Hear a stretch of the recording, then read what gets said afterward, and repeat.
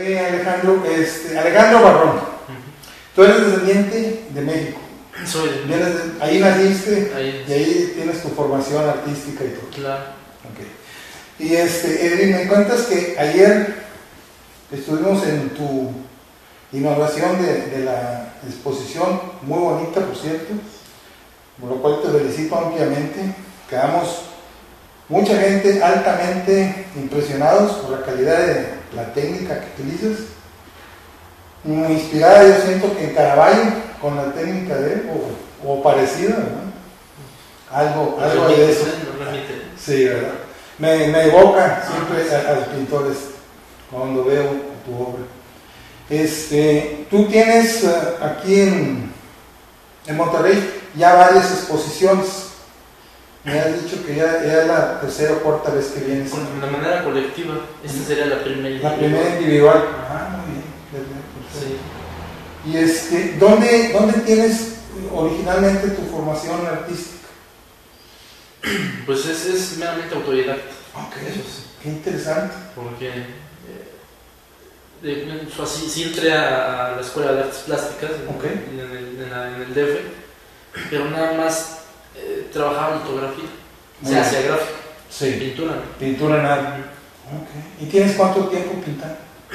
Alrededor de 10 años. Ok. 10 años ya.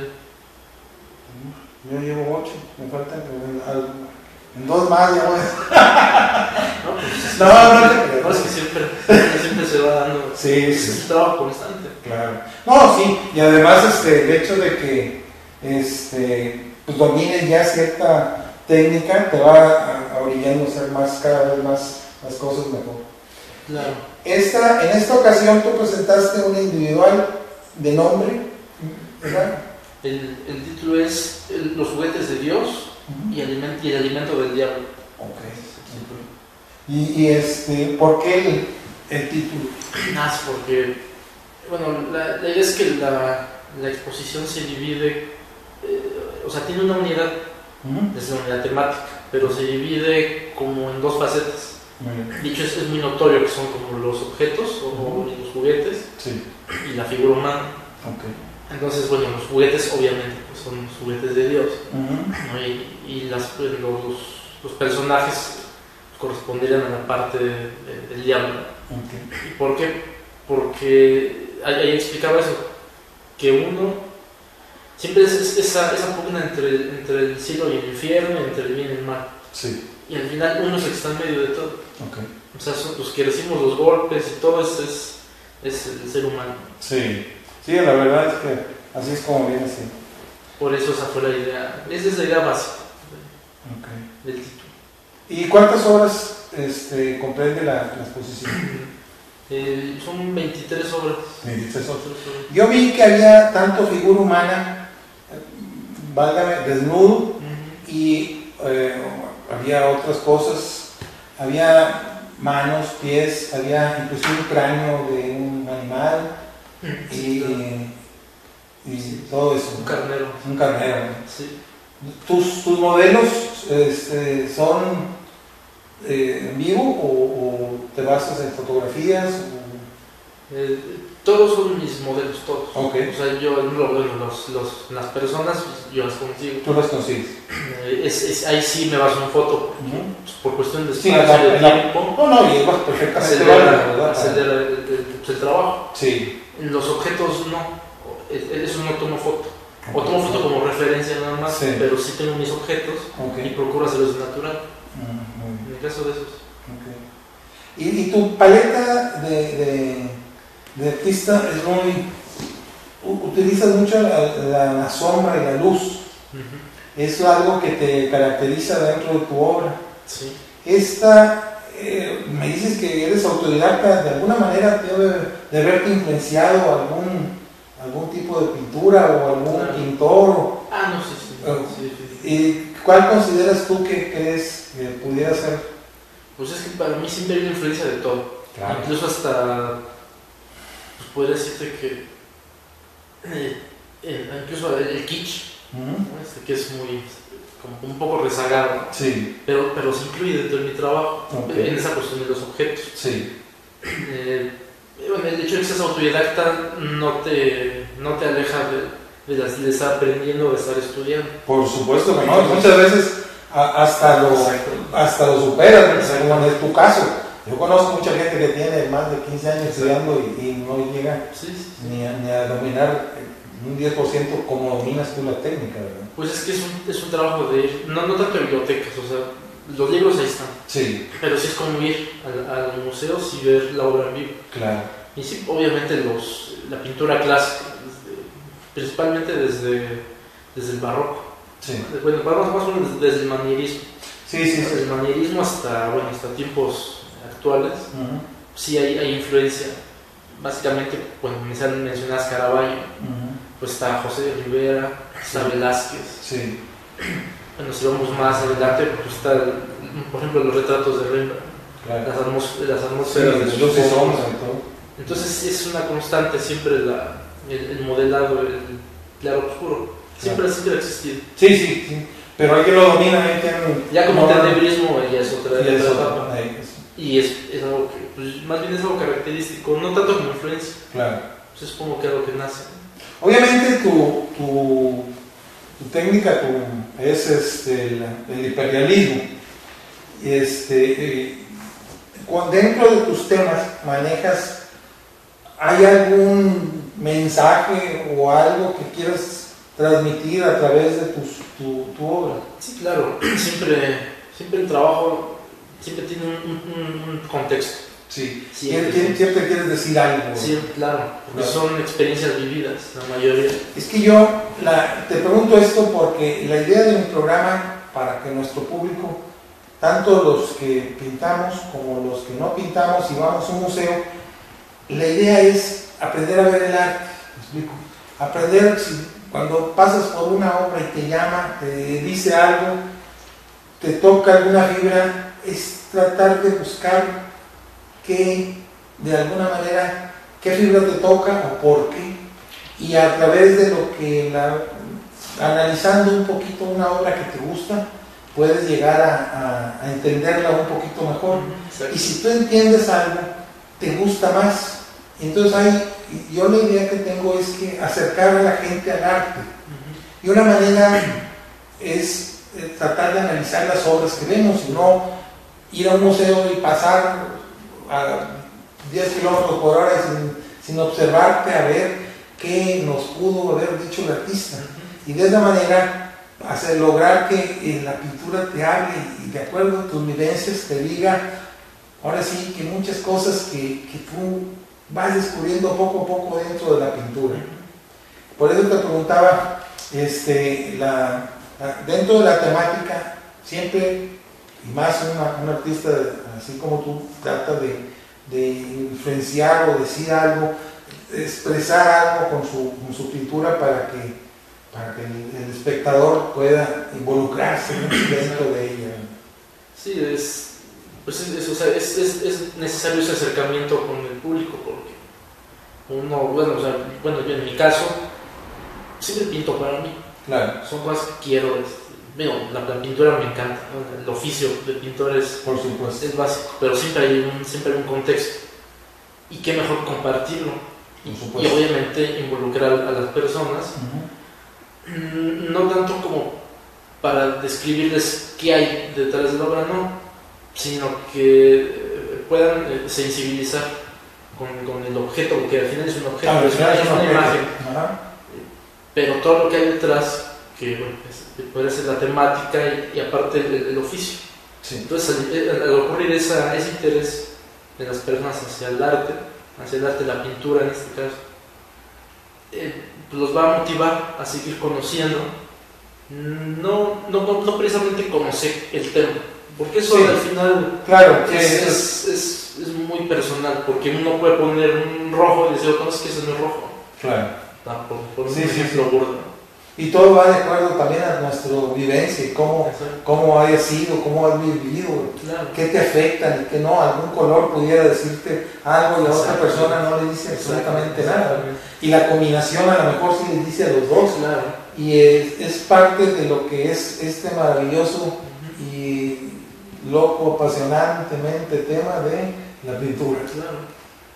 Ojalá y este, poco a poco podamos ir haciendo una conciencia en, en, la gente para que acuda a los museos, porque muchas veces aquí, afortunadamente, en Monterrey tenemos mucha obra urbana de muchos artistas muy famosos.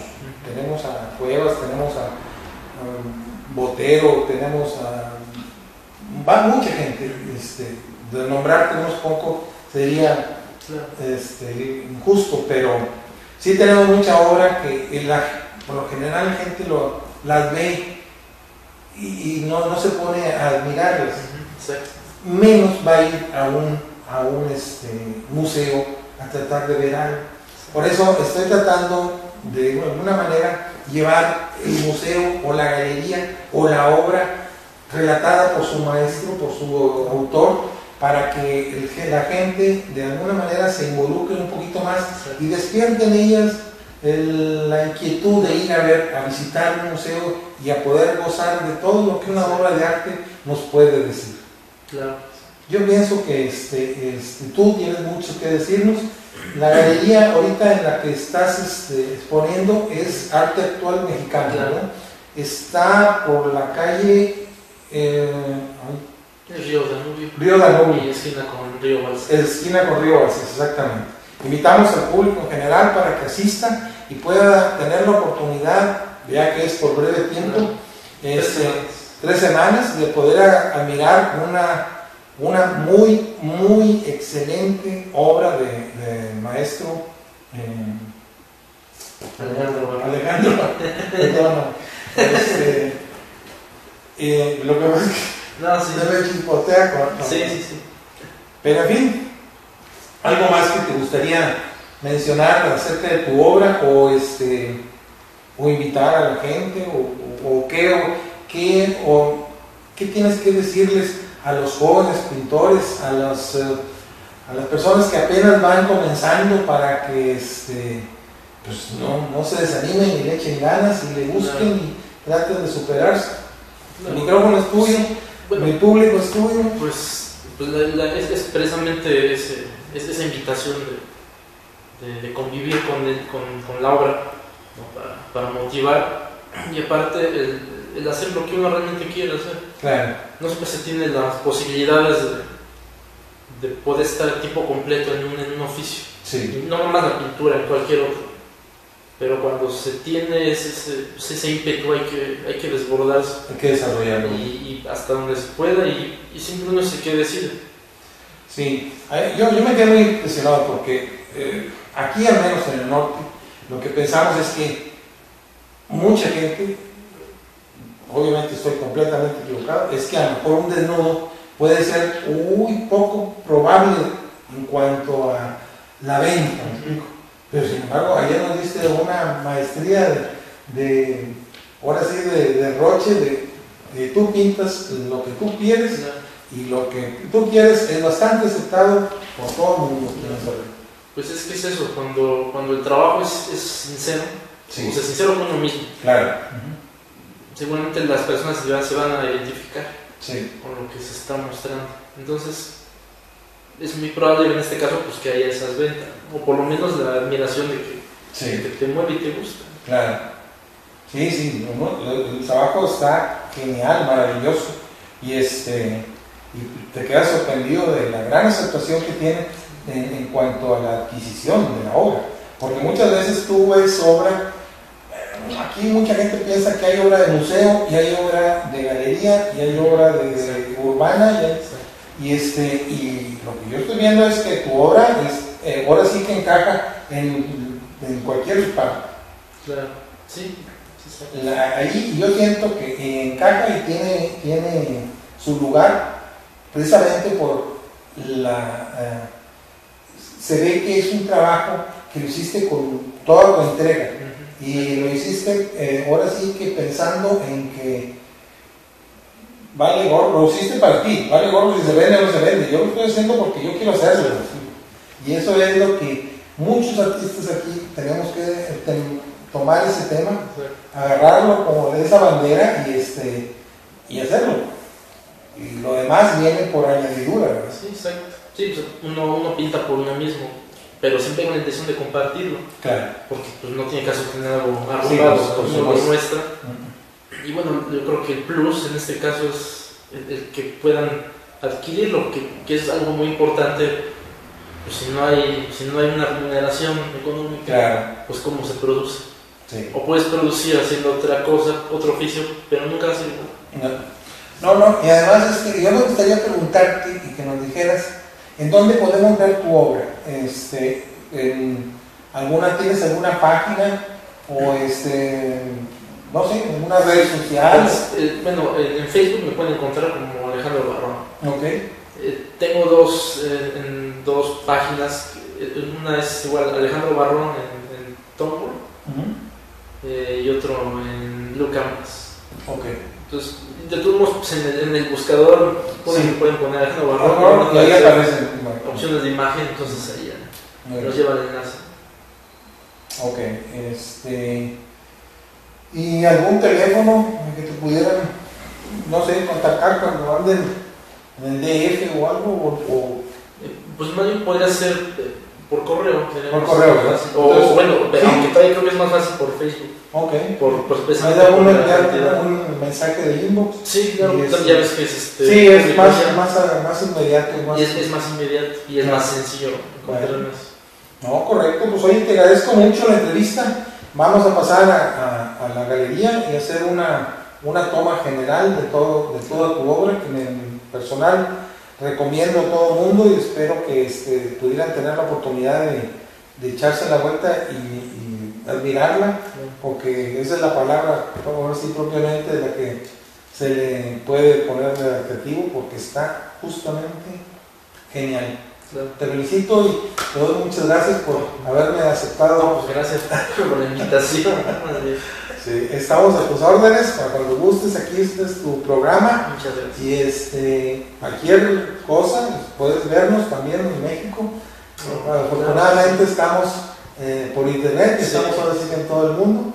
A la hora que tú gustes nos puedes ver, cualquier cosa, nos puedes mandar un mail o algún Claro. por ahí, por Facebook y podemos hacer Sí, sí, extensivo al público tu, Claro tu opinión. claro que sí. Estamos en disposición siempre. Señores, o sea, aquí esperando que todo esto haya sido una maravilla de, de entrevista y estamos a sus órdenes para la siguiente. Muchas gracias. Pienso-